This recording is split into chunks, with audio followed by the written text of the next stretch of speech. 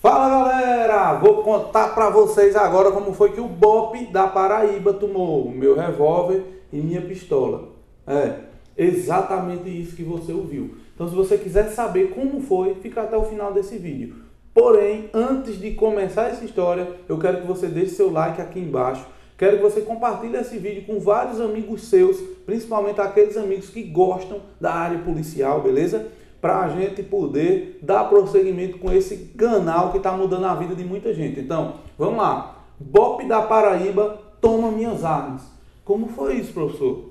Atenção, bisonho. Eu fui fazer um concurso, na verdade não fui fazer o concurso, eu fui levar um pessoal para fazer o concurso da PM na Paraíba, beleza? Chegou lá na Paraíba, é, o motorista do carro, que era amigo meu, né? Ficou no primeiro colégio e aí eu assumi a direção do carro e fui levando o pessoal que ficou dentro do carro, né? Que era tudo amigo meu, inclusive a Andresa estava comigo também, que ela foi fazer a prova. Levei a galera, cada um no seu colégio, e no último colégio, deixei a última pessoa, que eu não lembro, foi a Andresa, inclusive, deixei a Andresa no último colégio. Estacionei o carro e fiquei assim perto do carro conversando com a galera que estava lá. Eu não ia fazer a prova, então eu tinha que ficar em algum lugar. Fiquei lá, só que eu estava armado, claro. Sou polícia, pô. Então, estava com a pistola na cintura e um revólver que eu tenho dentro do carro, no porta-luvas do carro. Como eu estava perto do carro, eu deixei o revólver lá dentro, né? Não tinha necessidade de eu estar com duas armas, já que eu estava com pistola e mais um ou dois carregadores que eu sempre ando quando eu vou viajar, beleza? Enfim. Até aí tudo bem. Comecei a conversar com um pessoal que estava lá, veio de fora também, os motoristas e tal. E cada um foi se saindo, tal, outro foi para um canto tal. Eu peguei e fiquei só. Eu digo, eu vou ficar ali perto daquelas barracas de lanche. Subi. Quando eu cheguei lá, me sentei numa cadeira e tal. Daqui a pouco chega outro cara, motorista de uma van. Aí ele começou a dizer que era PM na Paraíba tal, e não sei o que, no Ceará que diga, né? Eu sou PM no Ceará e não sei o que e tal. Aí eu digo, oxe, massa, bicho, eu também sou policial. Então a gente ficou conversando ali. Daqui a pouco chega um doidinho lá, meio desses curiosos, né? Que se mete na conversa de todo mundo e se envolveu na conversa da gente. Só que ele não viu a gente dizendo um para o outro que era polícia, né? Então a gente começou a conversar e ele se metendo. É, porque não sei o que, não sei o que. É, eu também vi isso. Eu, esse bicho chega do nada e vem com essa merda. Mas enfim, a gente ficou lá conversando e o doidinho se metendo na conversa da gente. Como ele era muito intrometido e a gente não deu muita moral, ele se saiu, né? Foi embora. Só que ele foi em direção a umas viaturas que estavam paradas lá do outro lado do, do colégio, na mesma rua, sendo do outro lado assim. E eu vi quando ele conversou com o pessoal da polícia e tal, e eu olhando de longe, né? Beleza, deixei pra lá. Continuei conversando com o menino lá e não sei o que, falando só sobre concurso, concurso e tal. Só que como eu me afastei do carro, eu peguei o revólver que estava no porta-luva, botei na cintura. Então estava com a pistola de um lado e o revólver de outro na cintura, claro, é, coberto, né? E, o, tanto o revólver como a pistola estava coberto, né? Velado. Enfim, sentei lá com as duas armas na cintura e comecei, comecei a conversar com o cara. Daqui a pouco chega duas viaturas do BOP. Ui, encosta, encosta, bota a mão na cabeça, vai, vira de costa, vira de costa. E eu, porra, eu sou polícia, eu sou polícia. E tem mais uns três caras assim perto que não estavam com a gente, mas também levaram um baculejo, né? Bota a mão na cabeça, vira de costa, todo mundo, todo mundo. Aí eu aqui, ó. Digo, eu sou polícia. Aí quando ele chegou perto, ele, tá armado, meu irmão? Eu digo, tô armado sim. Ele disse, eu vou lhe desarmar e você se identifica. E eu só obedeci, né? Eu digo, tá certo. Ele tá onde a arma? Eu digo, tá aqui na minha cintura, tem duas.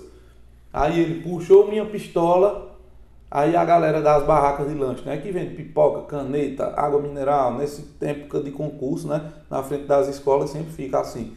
Aí teve uma mulher que disse, Eita, ele tá armado, ele tá armado, né? Ficou todo mundo na expectativa, só esperando a algema. Né? E eu lá com a mão na cabeça. Aí ele, tem mais alguma? Eu digo, tem um aqui desse lado. Aí ele puxou um revólver desse tamanho. Aí o pessoal das barracas, né? Puta que pariu, ele tava com duas armas, vai ser preso agora, vai ser preso. Casa caiu, boy, a casa caiu. E eu só aqui escutando, né? O fuxico. Aí daqui a pouco ele pode se identificar, aí eu. É, mostrei minha funcional, né? Polícia Civil e tal. Aí ele é de que estado? De Pernambuco, porra, aqui aí ele. Ah, meu irmão, que massa, velho.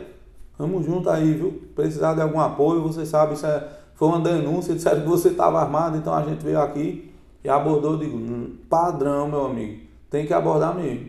E tem que ser assim, é enérgico.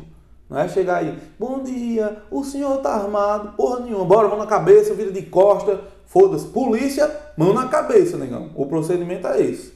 Vou lhe desarmar e você se identifica. Imagina se o cara não é polícia e de repente o cara, ah, é polícia. Baixou a guarda, eu. Matava tudinho. Né? Então, nada a ver, meu irmão. Bota a mão na cabeça, vira de costa, eu vou desarmar, depois você se identifica e tá tudo certo. Foi o que eu fiz, né? Padrão de abordagem de polícia, beleza? Não é porque o cara gritou que é polícia que você vai acreditar que ele é polícia. Não tem canto nenhum cravado dizendo que eu sou polícia. Então, padrão. Fez a abordagemzinha lá, me revistou, tirou as duas armas, me identifiquei. Quando eu me identifiquei, ele devolveu uma arma, eu, cintura, devolveu o revólver, eu, cintura. Aí, beleza, meu irmão? Pegou na minha mão, eu digo, tamo junto. Se precisar de apoio, eu tô aqui sentado. Na hora, meu irmão, valeu, boa sorte aí pro pessoal que você trouxe. Ao pessoal das barracas de lanche que tava torcendo para ver a algema, né? Para ver eu ser preso. Ficou tudo assim comigo, ó. Ei, meu irmão, quer um cafezinho? Quer um cafezinho? Eu, não, não, tá bom. Quer uma pipoca, meu filho? Então pega uma pipoca. Eu fui pagar. Não, não precisa pagar, não. Eu digo, agora, né? Mas tava todo mundo torcendo para que eu fosse preso. Enfim, galera, foi nesse dia que o Bob tomou minhas duas armas, porém devolveu em poucos segundos, né? Por quê? Porque eu tenho porra de arma, porra. Então, é massa, né? Você que vai ser polícia, um dia também você vai ser abordado, você tem que entender. Se é a polícia cobrando, mão na cabeça e pronto. Faça o que eles estão mandando. Depois você se identifica, tranquilo?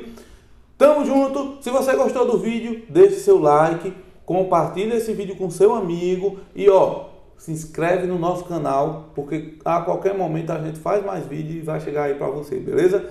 Valeu!